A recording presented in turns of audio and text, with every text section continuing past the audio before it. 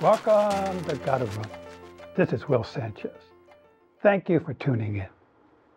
My special guest tonight is Drew Sheppard from the Galloway running team. Where to start? Almost 16 years ago, Drew had his impossible dream to run where very few have run before. This past Boston, Drew, thanks to his family, his classmates, and his Galloway running family, ran his 50th state and his sixth world major marathon. He is a six star finisher. He did this with panache and style. I'm thrilled to have Drew, un hombre de bueno, as my guest. Thank you. I'm happy to be here. Drew, Boston, Yes. your 50th state. But not only that, somehow you managed to plan it to be your sixth world major marathon. So tell us, when did you realize you were going to do Boston, that Boston was going to be your last one? Actually, from the start, like 16 years ago, when I came up with the idea that I was going to run all 50 states, all seven continents, and the world majors, I knew that qualifying for Boston probably wasn't going to happen and that I was going to have to raise money for charity. So I deliberately waited to have that be last. So I started with a spreadsheet, had my list of all the different races I wanted to do, and I plugged Boston in to be the last one so that I could actually finish there. I knew it would be close enough that I could have some friends come up. I went to school in New England, so I knew I could have some of my former classmates there. And I had hoped, and I was able to have my family there as well. In fact, I think you had the Drew crew. Yes. Say that fast 12 times. Yes, there was lots of merchandise over the weekend of Drew's crew on my family and my friends. Uh, they were the best supporters possible, and they really made it an amazing day. Actually, you mentioned charity, so it's actually a triple win. Not only did you do your 50th state and your sixth major, but you ran for charity and raised quite a bit of money, like over $15,000. Correct. It was an excellent organization called the Last Call Foundation. Was founded after the death of a firefighter, Michael Kennedy. He was scheduled to run the 2014 Boston Marathon, and he died just a few weeks before in a fire. And his mother, in his honor, created this organization, and they've done such amazing, wonderful things for uh, the city of Boston as well as nationally, like pushing for reform, helping secure equipment. Um, so the money went and is continues to go to really great causes. And I had over 170 people uh, donate over $15,000. So I'm incredibly proud of that. And then on race day, Yeah. at the final push, when you turn left onto Boylston, we actually go by Michael's old uh, firehouse. Oh, so it was a fantastic push uh, to go there to the to the final. Oh, I'm moment. sure the firemen were out there cheering Yes. you guys on and uh, honking probably their horns and taking lots of photos. Absolutely. Well, Drew, let's let's go back in time. Tell us where you were born, a little bit about your childhood. Sure. I grew up in New Jersey, so not far, but to us, the city was Philadelphia, uh, not New York. I was, I was South Jersey. I did very little sports I, in, in growing up. I maybe did one season of soccer, one season of baseball, one season of basketball. When I was in high school, I did take up winter and spring track. I remember going out for track and the first practice it was to run two loops around the track and i could barely do it. And the coach came out and ran with me uh, to help me finish. And i think a lot of people expected that i would not come back the next day but i think i'm stubborn and i decided i'm going to actually continue at this and keep going. Can't say that i ever fell in love with running back then um, i've tried to find that old coach to let him know that here we are you know, all 35 years later, and uh, I'm running and actually love the sport. Uh, just to let him know that, because I think he would be uh, amazed. Okay, in- in high school, you decided to go to college. Correct. Which college did you go and what did you major in? I was Providence College in Providence, Rhode Island. Um, I was a double major of English and theater, and loved it. It was a great, small little school, um, and I'm now part of our National Alumni Association Council. So I'm still heavily involved in uh, the, the continuation of my school and and all the amazing things that they do. Oh, that's Um, great. In so fact, that. last year you celebrated your 30th reunion. Correct. I think you were the, ch- the chairman of the I was thing. one. I was on the committee, yes, and it was a lot of fun because I was doing a lot of uh, throwback photos from college, and uh, had some completely random stuff from you know tickets to the formal and uh, you know a list of different things that we had done. Uh, so it was a, a fun walk down memory lane. Well, I guess 30 years ago, was there cell phones? No, thankfully, I think it's a good thing. Good. So after college, you needed to decide a career for yourself.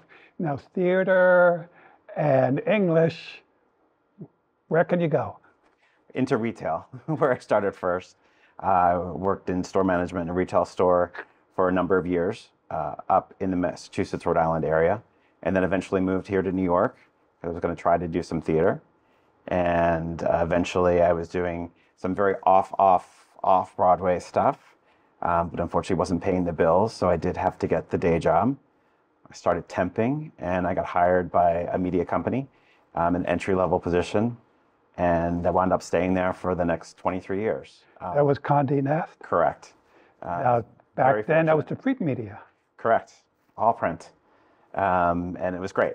Uh, it was a wonderful place to work, great place to grow up, um, and uh, it, it was it was a great time to be there. Uh, 23 years in any any place is a long time. So you must have seen a lot of change from print media Sure. to eventually to digital. Yes, um, I was very fortunate to, to work on several launches while I was there, not only of different brands, but also some addition initiatives, digital paywall products, uh, digital products tied to um, Bon Appetit and Epicurious. Yes, yes, yes. of. I, I remember seeing the savory Yes. food thing here. Yes. Uh, so the, yes, that was one of the, the projects I was involved in Okay. before I left. All right. So you ran in high school. Did you run in college? No, Okay. Any sports in college? no, So no. it's that English and literature. So you probably it. saw a lot of plays. Absolutely. I still do because I know you every Saturday. We try to book you on a Saturday, but every Saturday you had a matinee. How did you get back into running? How did you discover Galloway? Sure. I'm a bucket list kind of guy. And when I moved to New York, I started making a list of all the things I wanted to do as a New Yorker. And eventually I added on that I wanted to run the New York City Marathon. That was the only marathon I wanted to do. I got in in 2007 and I did no training. So I said, this is not going to be good for me. So I deferred to 2008. And for Christmas, I asked my mom to um, pay for some passes or some classes with New York Roadrunners. And I did an absolute beginner, twice a week Roadrunners group training class. And that's where I met Michelle Patterson. And going through the 10 week session, I was talking about how I wanted to do the marathon. I had no idea how I was going to get to 26.2 miles. And she had told me about Galloway. And that's what got me to go to an information session. And I learned more about it. 2008. 2008 was my first season. Michelle took the New York Roadrunners class, Yeah, and you were fortunate enough to hook up with her. absolutely. I, I say she's a life changer for me, Life changer. Well, she takes a lot of credit for that. as she should, as she should. you know, we're related then. Yeah. Because I was the life changer for, for Michelle. I had her on. You probably saw the interview. Absolutely.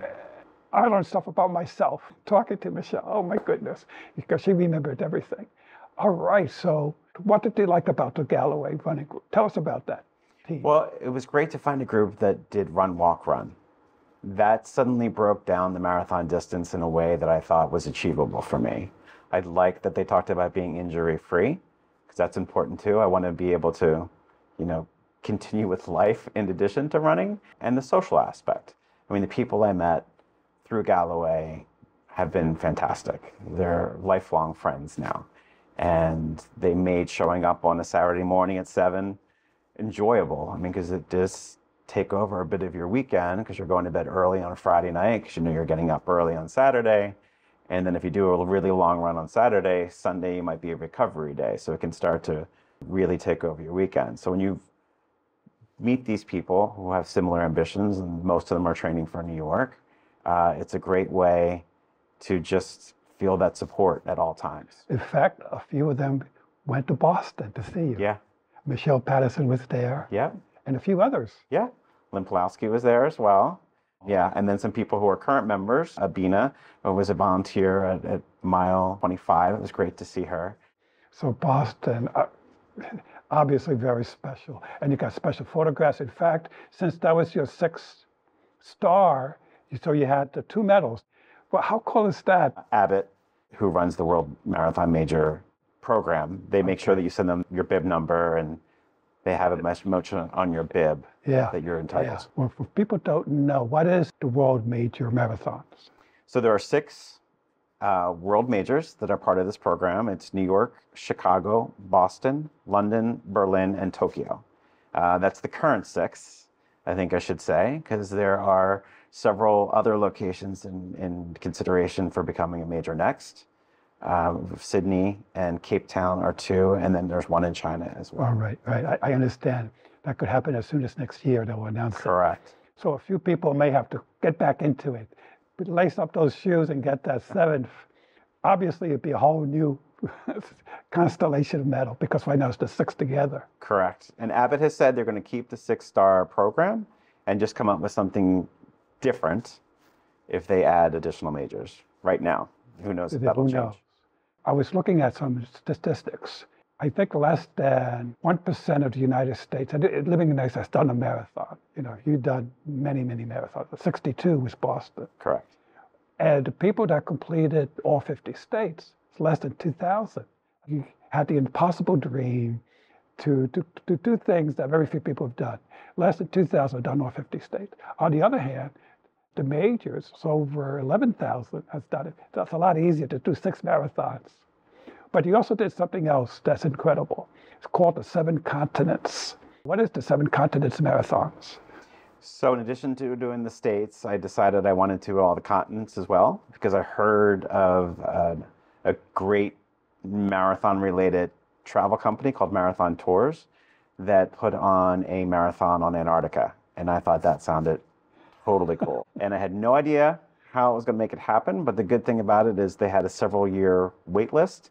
So I could put my name on the wait list and kind of not think about it for a while. Um, but then eventually I was I got my spot on that. So it was actually the second continent I did. After Antarctica, I knocked off Europe. I did London next, and then also I did Easter Island in South America, which was an unbelievable trip. I did Queenstown in New Zealand, and Cape Town uh, in South Africa, and Tokyo for Asia. Wow. Now, this is a journey, and things happen that are surprising. I was there when Michelle did her first marathon, and I saw what she learned. What did you learn in the past doing these all these marathons? What did you learn about yourself? have to be adaptable. Um, you know, I did come up with that idea of what the next 13 years would look like because the reason for trying to do it in 13 years was I was trying to finish the 50 by the time that I turned 50. That did not happen because I turned 50 during time of COVID. So many races got canceled and delayed. So I had to adapt for that. Um, you know, I had a sketch of the different races I wanted to do because some states don't have that many options. So you have to be aware Okay, they have two races, and you got to know where on the calendar they fit. Um, and then I've had injuries, so that had to that's messed around with my my timeline as well. And I f- finally, I don't know if that's the right word, but I had to do not finish a DNF um, towards the end, which was a new thing for me. Where did well. that happen? It was in Africa, the Big Five Marathon. I had been scheduled to do the Amazing Masai Marathon in Kenya in 2020. Obviously, that got canceled. It didn't come back in 21 or 22. So when it got to 2023, Marathon Tours suggested picking an alternative marathon in its place. And I knew the Big Five was going to be challenging for me. I'm a, a proud back of the pack runner. Um, so I know that time limits are, are tough, and I knew it was a tough course. And I still picked it, um, even though that they said everyone should expect that it's going to be 25% slower than your normal marathon. Because of the terrain and the, the course, um, there's lots of, um, you know, it was running up some rocks, down some rocks, straight down uh, pavement, through sand. I mean, it was just, it was a brutal, brutal course. And I was on mile 17 and I was on a, it seemed to me at the time like a direct incline. And even my Garmin watch started sending me alerts saying, we're going to uh, alert your emergency contacts that you're not okay. I've never experienced that before. Wow. Saved by your watch. Yeah. And the you know people from the race team kept coming by and saying, we, we don't think you're doing okay. We think you should call it a day. And I kept saying, no, no, no. And eventually I said, I think they're right. And so it was mile 17, and it was you know kind of close. There's only nine more miles. That's, that's a lot. Only nine, well. a lot. We're, not feeling well. It could be an eternity. So, but once I got into the Jeep and they were taking me back, once that decision was made, I had to let it go. And it was still a great trip. I got to do all these all these safaris.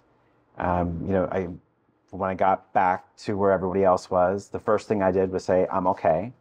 Second, I said, we're okay. So let's make sure that we still have fun and enjoy this amazing experience while we're here. And then I started looking for my replacement marathon because I knew I wanted to finish Africa that year. Um, so while I was there, I found Cape Town and decided that was what I was going to do, but I didn't tell anybody. I kept it to myself because I was a little gun shy, I think, after the do not finish. And, you know, I came back and I added in some strength training to see if maybe switching things up, not just running, would help. And I was going to not tell anybody uh, until I was actually in Africa. And I thought if I do that to my parents, I'm going to be in trouble. So even though I'm 53 years old now, I didn't want to get grounded by my mom.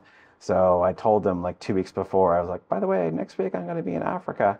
Um, and I went back and I got done. And it was good for me to find out that uh, I'm adaptable and also, you know, determined. determined. You probably always had that, but was there something new, you know, that you didn't know you had? For example, Michelle felt that she was very impatient with others.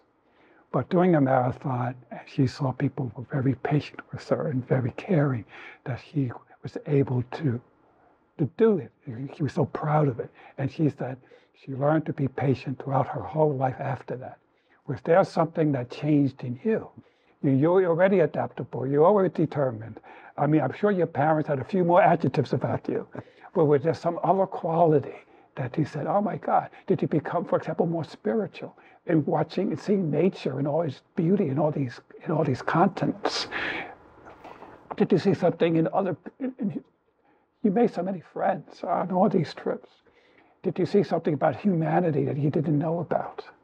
I think a confidence I didn't know that I had. Um, maybe it was there all along, but a lot of my international trips, I went solo. So I went and didn't know anybody. And I got much more comfortable being able to walk into a room and say, Hey, I'm Drew. I'm from New York. And just, you know, having the conversation, kicking it off, and not being shy. Um, so I think it really helped push me out of whatever shell I might have been in. And that was hugely beneficial. Yeah, yeah. All right. So, uh, so you became less shy.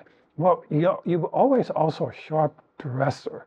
You know, you would show up and you had you know really cool sunglasses, and if there was a theme to that race, you know, you you really took it to heart. You really had a lot of fun with it. In fact, I think you have the biggest collection of socks of anybody I know. Where did you learn your sense of fashion? That was just a chance to have some fun. I think that men's running clothes can be a little on the boring side. Black shorts, black top. I mean, it's not a whole lot going on.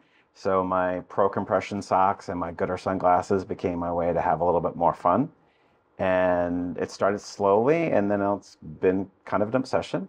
Um, I'm very much aware of all the big holidays, of course. You know, the Fourth of July, Halloween, but uh, you know, it was recently National Unicorn Day, and I have unicorn socks, so I'm aware of all the random little holidays that happen, and generally I'm That's celebrating. unicorn sock. Wow, cool. We could wear that sock in Boston too. unicorn Yeah. sock. but you mentioned your your parents, and eventually your mom and dad became part of the team. In terms of, I think your mom ran as well a few races and came in in her age group, you know, top three. Did you start first, or did you encourage her? Uh, Well, I was very lucky. They came down to my third marathon in Walt Disney World. And I think they saw one of the great things about our sport is that anybody is a runner. Doesn't matter your age, doesn't matter your size, your ability. You lace up your running shoes, you can go out there and get it done. And it inspired my mom. And she, after that race, she started doing some walking and then moved into some run walking herself. And then she told me she's taken up running and she wanted to go back to Disney and run the half marathon with me. So uh, she picked it up in 2009 and she's still running. And she's done two half marathons, uh, maybe like a dozen 10Ks, and over 100 5Ks. And she's won her age group quite often. She'll even come up here to New York and we try to time it to when there's a race in the park. And she generally does well in places for her age. I never have. So I'm a little jealous of that for her. Um, and my dad has been great too. He has joined me on many of my running trips. And when there's a 5K on that weekend, he participates. And they both came with me to Hawaii. The three of us all participated. Um, I did the full. My dad did the 5K and came in second for his age group, and Wow. mom did the 10K and came in for first to her age group. So it was it was Oh, so a you- great experience. You guys could do your own podium shot, you know? We did. I stood in the middle one, even though I wasn't a podium person. But you were the favorite son. Sounds like you're the only child. Yes, I am. Yes, oh I my gosh, it's just an amazing journey if you've gone through. The impossible dream, and you did it. And now you, you said you're, re- you're going to retire from the marathon. Are you going to continue with the half marathons? I love the half. I think the half's the best distance. So I'm happy to be done the full marathons. When I did my final 20 mile training run, it was a joyous moment. Um, those those training runs, which is really where most of the mileage is happening, um, can get old after a while. Great to do it with a group. So when it's Galloway training season, it's great that I'm with a group. But sometimes I'm off cycle, and, and you know some of those miles are by myself. Um, but the half, I'm going to continue. I'm going to continue Great, that. and continue with the Galloway running. Absolutely. With the Galloway, you mentioned they, they, they changed it up, got different routes, to keep it entertaining, not always in Central Park, Correct. not all over the place. Because when I was running with Galloway, 90% of the time we were running in Central Park. But now you, you know, you're everywhere. We make a point to go to every borough. We make a point to make sure that we do significant portions of the marathon course, which is great for first time runners who are nervous about running in New York. It's a chance to see the course. I was able to go up to Boston to do a training run before the marathon, and that was hugely beneficial because I had in my head that Heartbreak Hill was going to be another one of these like straight Yeah, yeah. inclines, and it wasn't that bad.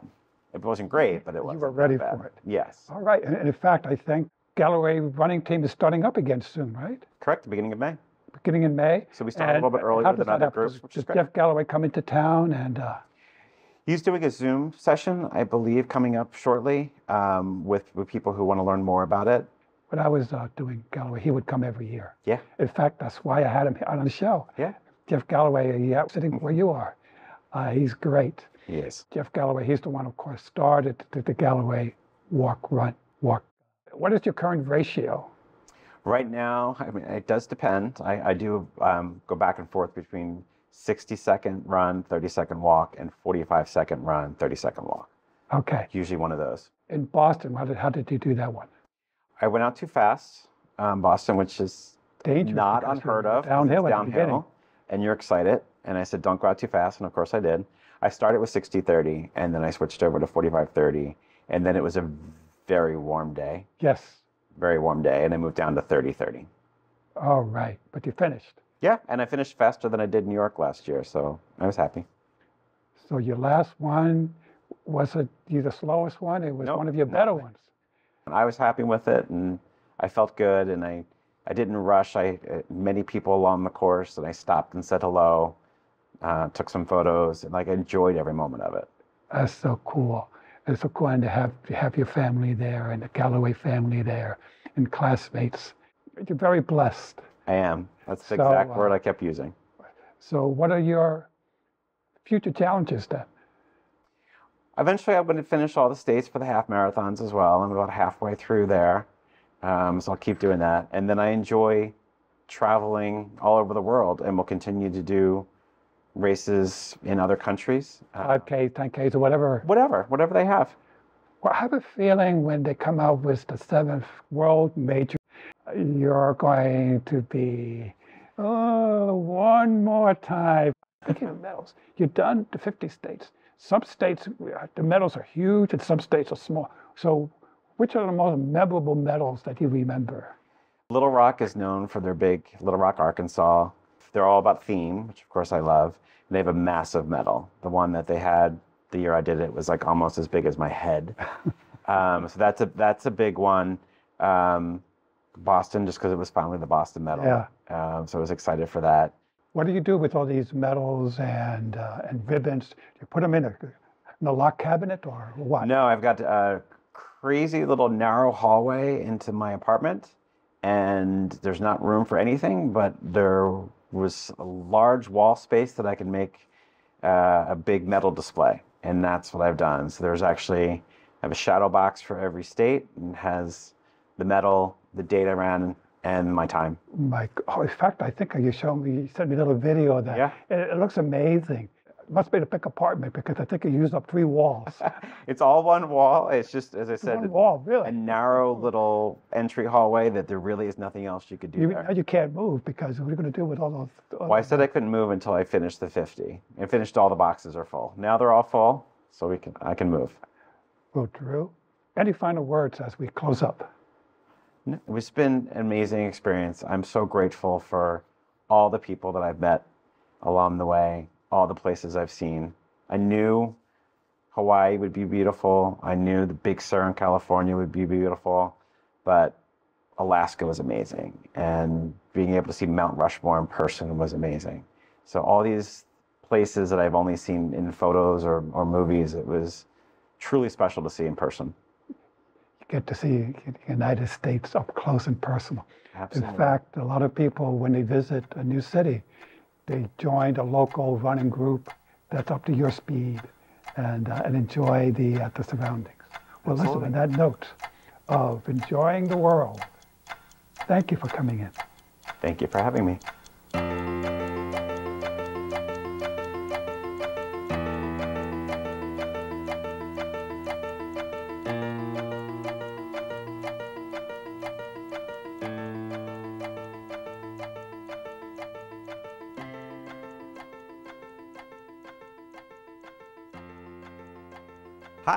I just finished a great conversation with Gotta Run with Will. Check it out on YouTube soon. Until then, I want to say thank you to my mother, my father, my great friends who came up to Boston to cheer me on, both in person and also through emails and text. You really made it a special, special day. All right, gotta run.